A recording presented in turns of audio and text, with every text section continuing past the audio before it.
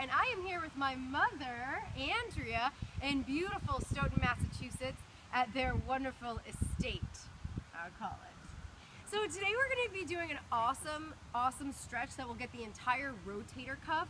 And as a testimonial, uh, my mom will even share that she had a lot of shoulder issues from the job that she was working. And after giving her this stretch to do on a daily basis, she's had no pain, right, Mom? Absolutely. No pain. Look at that. Absolutely. She looks as happy as a clam. Ecstatic. All right. So we're first going to start off with anything long. So if you are uh, anything such as a long strap, if you are at a studio and you have a strap near you, awesome. If you are home and you don't have a strap, then you can use um, a bathrobe belt. You can use an actual belt. Um, you can use anything uh, that you'll be able to move around and that will stretch with you. So uh, mom has a stretch band here, which will be perfect for her. And we'll show you how we're gonna move through this.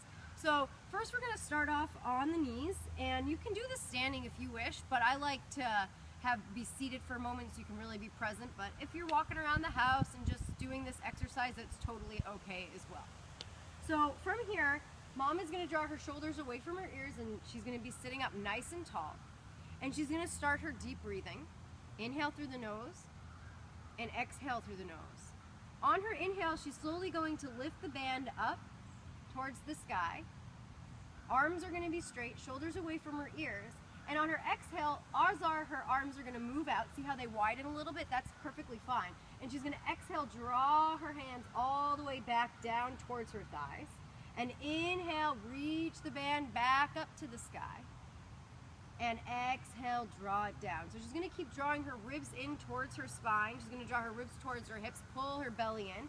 And she's just gonna keep on maneuvering back and forth and back and forth.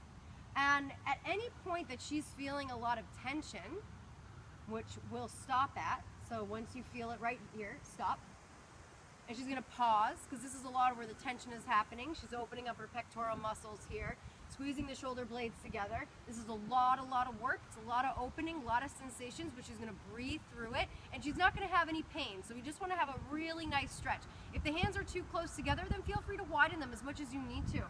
And then she'll exhale, draw the hands back down. And inhale, come up one last time. Exhale, bring the hands out in front and then take a seat down on her heels. So doing this, what would you say, a minute a day? At least. At least a minute a day, every single day, will really begin to get all those knots out of the shoulder girdle and make you feel like 100%. So in addition to those Gomukhasana arms that we have a video for, add this to your regimen and you'll feel like a whole new person.